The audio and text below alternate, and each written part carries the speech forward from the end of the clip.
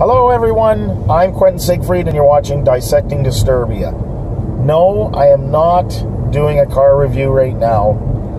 I'm driving my car because I had to pick up my daughter from her cousin's house, and I've been working on my house all day, cleaning and doing the carpets, and I didn't want to bring the big camera out to film, so I just threw this up in the stand, and I'm filming myself now.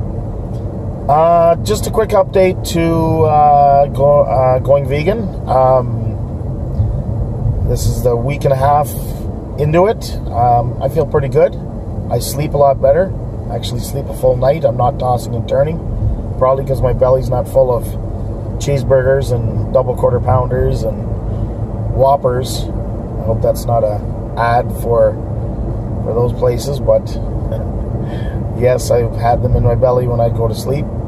Um, I weighed myself yesterday. I was 280 pounds on the button. Uh, I didn't weigh myself today, but I did uh, yesterday. Um, I've been. I had. Uh, I found went grocery shopping and I found a vegan mayonnaise, uh, Hellmann's vegan mayonnaise, and I'm telling you, it's better than regular mayonnaise.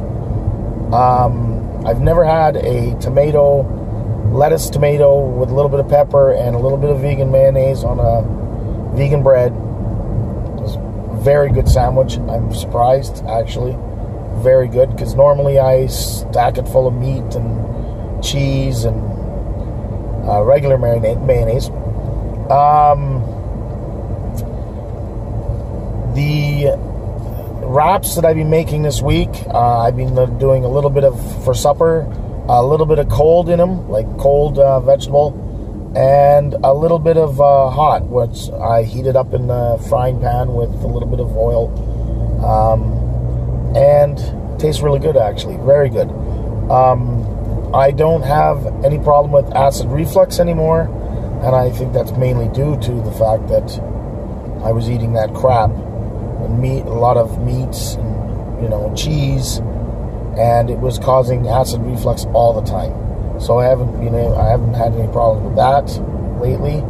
Um, yeah, generally I feel really good. I mean, uh, I have to say that if I um, um, feel this good or better after the two months, I will stick with this. There'll be no doubt in my mind I will stick with it. And I find that groceries are cheaper. Of course, my wife still buys for the family. She does get some meats, but I don't think she considers me eating those that meat, so she doesn't buy as much. Um, yeah, so essentially, it's going good. Um, I I don't know. I uh, and everyone I tell about it, they uh, they seem to think it's a good idea. They want to see me shed the weight and you know be around be around later on to uh, celebrate it, not not be uh, gone. so, from overeating. Um, so, I guess that's all for now. A quick update. Feeling good, doing good, going vegan.